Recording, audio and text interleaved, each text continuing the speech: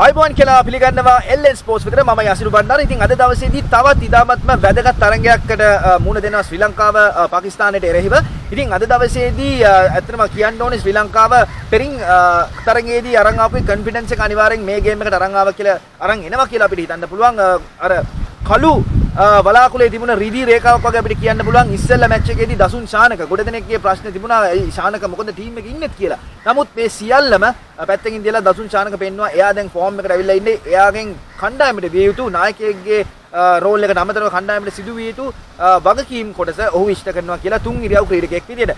ඒ වගේම අමතක කරන්න බෑ කුසල් මෙන්ඩිස් බේස්බෝල් සිස්ටම් එක බේස්බෝල් එක ගැන අපි වෙනම වීඩියෝ එකකින් කියමු මොකක්ද මේ බේස්බෝල් කොන්සෙප්ට් එක කියන්නේ කියලා. ඉතින් මේ බේස්බෝල් සිස්ටම් එකට ඇවිල්ලා හොඳ පහර දීමකට ලක් කරනවා. මේ බේස්බෝල් සිස්ටම් එකට තමයි මොඩර්න් ඩේ ක්‍රිකට් ශ්‍රී ලංකාවේ. ආයතන විශ්වාස කරනවා කුසල් මෙන්ඩිස්ගේ ප්‍රවේගකාරී පිටිකරණය අද අපිට දකින්න පුළුවන් වෙයි කියලා. ඒ වගේම විශේෂයෙන් කතා කරන්න ඕනේ අද තරගයේදී අද තරගයේ පැවැත්වෙන්නේ හයිදරාබාද් වල මේ හයිදරාබාද් ස්ටේඩියම් එක ඉතාමත්ම පිටිකරණයට යෝග්‍ය තනතිරුවක් තමයි තියෙන්නේ. ඉතින් ඒ වගේම අනිවාර්යෙන් අපිට බලාපොරොත්තු වෙන්න පුළුවන් ඉහළ ලකුණු සංඛ්‍යාවක් වාර්තා වෙන තරගයක් විදියට. එතන මේ හයිදරාබාද් මේ ක්‍රීඩාංගණය ගත්තාම ඒක ආපහු මම කියන්න ඕනේ මේ ඊ타මත්ම පිටිකරුවන්ට යෝගී තනතිරුවක් තමයි තියෙන්නේ. ඉතින් අපි අපි අනිවාර්යෙන් බලාපොරොත්තු වෙන්න ඕනේ අද දවසේදී ඉහළ ලකුණු සංඛ්‍යාවක් කරා යන තරඟාවලියක් තරගයක් වෙයි කියලා අද දවසේදී ඉතින් ඒක නිසා මම හිතනවා ඒ වගේම ටෙම්පරේචර් එක ගත්තාම අද උෂ්ණත්වය හයිඩ්‍රෝබාඩ් ඉතාමත්ම උණුසුම් දවසක් සෙල්සියස් අංශක 33ක් වගේ ඒ වගේම ආර්ද්‍රතාවය නැත්නම් හියුමිඩිටි එක කිව්වොත් එමේ හියුමිඩිටි එක අද දවසේදී 150ක වගේ තියෙන. ඒ කියන්නේ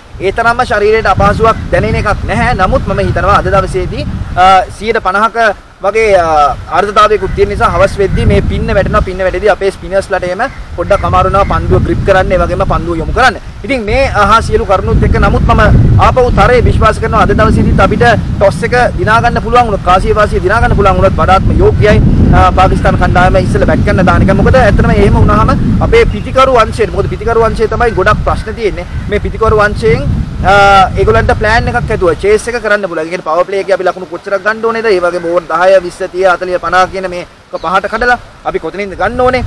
ඒ වගේම හදිසියකට අපිට පිටිකරු ලයිස්තුවේ වෙනස් කිරීමක් කරන්න ඕන නම් ඒක වෙනස් කරන්න ඕනේ කොහොමද? ඒක ඇත්තටම අපි අලුතෙන් ප්ලෑන් කරන්න ඕනේ. මොකද මොඩර්න් ඩේ ක්‍රිකට් එකට ආපුවම අපි අර ෆියර්ලස් ක්‍රිකට් තමයි සෙල්ලම් කරන්න ඕනේ. මොකද ඩිෆෙන්සිව් ක්‍රිකට් කියන කාල වකවානුව දැන් අවසන්ලා තියෙනවා. ඒ ඒ වෙනුවට ඉතාමත්ම අලුත් concept එකෙන් උදාහරණයක් විදිහට මේ බේස්බෝල් බේස්බෝල් concept එක.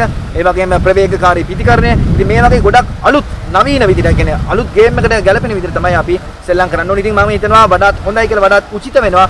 අපිට කාසිය වාසිය ප්‍රථමයෙන් දිනා ගන්න හැකියාවක් තිබුණොත් පාකිස්තාන කණ්ඩායම ඉස්සෙල්ලා බැට් කරන්න දාන්න ඕනේ. ඉතින් ඒ වගේම කියන්න ඕනේ පාකිස්තාන් කණ්ඩායම ඉතාමත්ම හොඳ වේග පන්දු යවන්න ඉන්නවා අපිට ඒෂියා කප් එකේදී මේගොල්ලන් හම්බුණා. නමුත් මම හිතනවා අපිට පළවෙනි අපි පිටිකරණයට ගියාම පළවෙනි පන්දු වර 5 10 අපිට වැඩි කඩු දෙන්නේ නැතුව අපිට අරගෙන යන්න පුළුවන් නම් මම හිතනවා අපිට අද දවසේදී හොඳ ජයග්‍රහණයක් කරා යන්න සියලුම හැකියාව ලැබේ කියලා. ඉතින් මේ සියලු කරුණු කාරණාත් එක්ක අපි හැමෝම මැච් එක බලමු. අපි ප්‍රාර්ථනා කරමු ශ්‍රී ලංකා කණ්ඩායමට ජයග්‍රහණය ලැබේ කියලා.